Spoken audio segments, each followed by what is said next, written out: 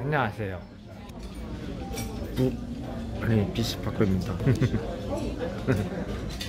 이게 몇 번째 메뉴인지 모르겠는데 어쨌든 어, 위에 고기가 있고 밑에 밥 초밥 같은 게 이렇게 나왔어요. 맛있게 먹어보겠습니다.